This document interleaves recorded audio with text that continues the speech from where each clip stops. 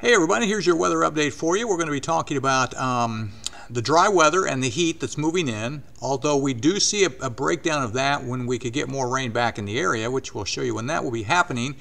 Uh, we're going to show you a longer term, uh, 6 to 10 and 8 to 14 day outlooks. Uh, also, um, off the top here, I wanted to just have a little fun. I, have occasionally put a little uh, weather quiz up on my social media pages, and I've done that the last couple, three days, and I thought I'd go over one and kind of you know, tell you if you want to go check out, we have another one up there. So we'll do that. Here's the first thing we're going to talk about, though, is at, at one point, May had been five and a half degrees colder than normal. Now we're 19 days in, and of course, with the recent warm weather, or warmer weather, we're starting to chop away at that. So now we're 3.4 degrees below normal, and we're really going to see that go away as uh, much warmer weather is now starting to move into the area.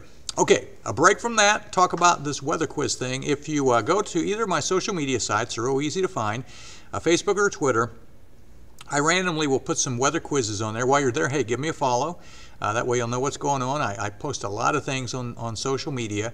But uh, anyway, I had a weather quiz on there which just ended earlier today, but I wanted to go over this one. And this said on average, what is the biggest weather killer in the United States over the past 30 years? And this is the entire country as a whole. And I put it on both of my social media pages. And here was the outcome. As you can see on the Twitter, the poll in percentages, uh, most thought it was flooding, although heat was pretty high. Uh, on the other side, Facebook, and you can't see lightning, it's underneath the, the, my image there, but it's two, so lightning had two. So you can see heat and flooding were also pretty high on the, uh, the Facebook post. As it turns out, it actually is heat, believe it or not. I think that surprises some people. It, it doesn't get probably quite the news coverage that um, other things do. And it's also not necessarily that big of a problem in the rural areas like around here, more in the big cities. Uh, when you look at this is a, a NOAA map, and this is uh, weather fatalities. It's 2019. We didn't have the, the 2020 numbers in here yet on this, but the bottom line is look at the yellow. The yellow bars would be the 30-year um, average fatalities. This is from 1990 to 2019, and heat easily is, is above everything else. Uh, flooding is pretty high, but nowhere near heat. And then you have tornadoes, and then you have lightning and hurricanes, which are pretty close in there. Uh, but no doubt, heat is the biggest one on average over the last 30 years across the country. So something kind of interesting. I have another quiz on there, so if you go up there, I'll give you a hint. It has to do with the last time we had a massive tornado across our country. And it might surprise you the answer to that. I've got the quiz on both of those pages, and I'll have an answer for you uh, during the afternoon hours on um, Thursday. And we'll talk more about that. Also, one other thing I wanted to mention here real quick. We're starting to get some pictures of this. Yes, that's the cicada. Thanks to Chuck over in Clay County for sending us this, but we've seen a few other pictures coming in. I think with the warm weather and the drier weather now, we're going to really start to see a lot of these. Of course, you've heard a lot on the news about this, the 17-year cycle of, of, this brood of it. And uh, we're, we're, talking about um, probably a lot of them and a lot of noise. So get ready. The cicadas are coming out, and we've got uh, some pictures of them in this area. Okay, wind. This is the wind, and I'm going to stop this for you on both afternoons. For Thursday afternoon at 4 o'clock, almost due south in the 10 to 15 gust to 20 range. And then as we get into Friday, again around 4 o'clock in the afternoon, kind of south again. Uh, maybe not quite as strong, but still 10 to 15. So we've got southerly winds as we head through the next couple of days. How about futurecast? Well, there's not much to show here. The rain is over, and the skies are going to start to clear some.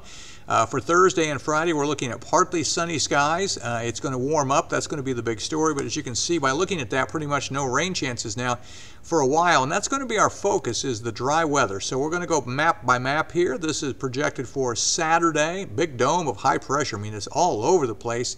Uh, centered basically over East Kentucky and Tennessee, but definitely protecting this area. That's Saturday. Here's Sunday. It expands down towards about Nashville, but again, it's all over the southeast, so all that area will be dry. This is now getting into Monday. Notice a front just north of us, up towards Chicago to about Fort Wayne. There may be some showers and storms up there, but I think most of those stay north of us on Monday. By Tuesday, the high pressure now is getting down closer to the Gulf Coast area, and we have a front trying to squeeze in from the north. So if you didn't get enough rain and you are looking for more, probably about Tuesday, and this next map is Wednesday, our chances will be increasing some as that front gets closer to us. The high pressure uh, breaks down and moves a little bit to the south, and that would increase our rain chances once we get into about next Tuesday and Wednesday. So here is the rainfall forecast. These are all going to be 24-hour forecasts. This is 7p Wednesday to 7p Thursday. Nothing here. You can see everything uh, spins right around that high pressure. Still heavy rains in parts of Texas and Louisiana. 7p on Thursday to 7p Friday. Nothing here. This is 7p now Friday into 7p Saturday. Nothing here. Still directing heavy rains though into uh, Texas, and they're going to start to get some heavy rains in the northern high plains as well. Uh, 7p on Saturday to 7p Sunday. Again, nothing here, but we do start to see a few showers up to the north. Now this is getting into 7 p.m. Sunday to 7 p.m. Monday, mostly north of here, but you get the idea it's getting closer. And now this is 7 p.m. Monday to 7 p.m. Tuesday. Now we start to see a chance. So there's Tuesday and here's Wednesday with the front getting closer. So we do see rain chances increasing again, but probably not until about Tuesday, Wednesday of next week. And I wanted to show you before we wrap up here our forecast. We've got it dry all the way through Monday. Uh, temperatures in the upper 80s on, on Sunday and Monday. And remember, there's going to be a lot of moisture in the ground that's going to be evaporating, so it's going to be humid as well. So we're talking 88, but the heat index, what it feels like, will be in the mid 90s. Okay, I want to show you the 10-day rainfall forecast off the three models. And uh, remember, most of our rain is going to come in the days about 8, 9, and 10. So not really for the next week, or at least for the next several days. But uh, this is the European. You can see the heavy rains directed to East Texas, Louisiana, into the Plain States. This is the GFS model. Same areas, picking up some of that pretty heavy rain. And this is the Canadian. Now, it also starts to show some rain getting in here, but again, this would be towards the end of that 10-day period. Uh, we're going to be pretty dry for probably at least the next, oh, five, six days, it looks like. Okay. Lastly, our longer term probability map, 6 to 10 day temperature forecast above normal here. This is May 25 to 29. But here you go, we get into the wetter weather. Again, after we get through about day 6 or 7, it does look like the front stalls near us again and rain chances ramp up. So you can see May 24 to about May 30 given there. And then this is the 8 to 14 day temperature above normal again as we wrap up May and head to June. And also above normal on the precip. So we've got a dry period now settling in, but I think that pattern will change and we'll go back into a wetter weather pattern once we hit uh, the end of May and into the beginning part of uh, June. So there's a lot of info for you and uh, we'll continue to monitor it. But the bottom line, going to get warm, going to be dry. It looks like right through the weekend with our first bout of some summer weather just around the corner.